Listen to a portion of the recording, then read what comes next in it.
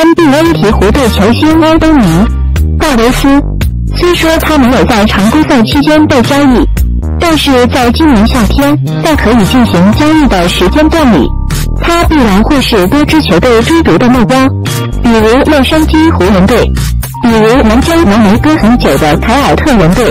凯尔特人队拥有大量的年轻球员，大量的选秀权以及不错的战斗力，这再加上他们身处东部联盟的优势。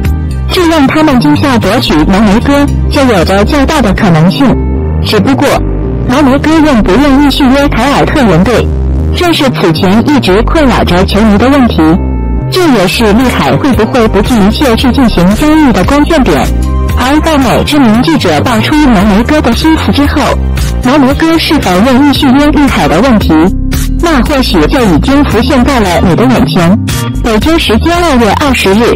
据 NBA 记者 Sean O'Neal 爆料，他得知的消息是，现在凯尔特人队依旧不是浓眉哥心中的长期目的地。浓眉哥的合同中拥有球员选项，在下赛季结束后，他就可以跳出合同，成为自由球员。如果不准备长期留在波士顿的话，那么浓眉哥大概率也就不会选择与绿军达成续约。诚然，此前浓眉哥发声表示。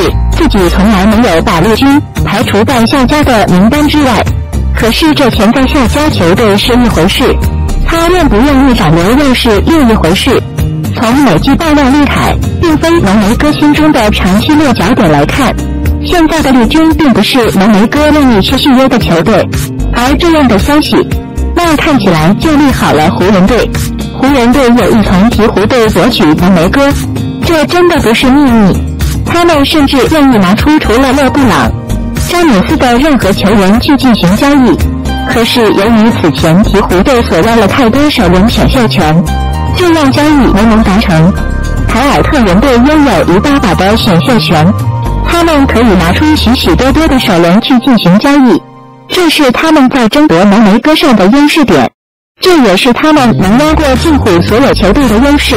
可是，在双手欧尼爆料出浓眉哥的心思之后，浓眉哥对于凯尔特人队的价值，那必然会出现降低。如果只是浓眉哥一个赛季使用权的话，丹尼、安吉大概率是不会倾其所有的去进行交易。到了那时，湖人队自然就有机会了。当然，除了美剧爆出的这份较为针对绿军的消息之外，绿军今夏本身还需面临续约凯里。欧文的问题，一如日前安吉所言，欧文和绿军现在是处于订婚的状态，会不会悔婚还真的说不准。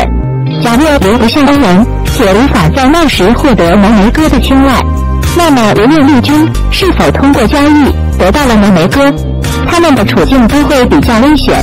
绿军蛰伏多年囤积了大量筹码、潜力股，他们通过运作打造出无限接近总冠军的阵容。可是，在这些的背后，他们遭遇了海沃德的伤病、霍福德加多位潜力球员加选秀权价值的下滑。今年夏天是绿军非常关键的一个夏天，一旦操作失误，他们今夏或许就会遭到非常致命的打击。突破困境好组阵容一飞冲天，好使让过去的努力付之东流。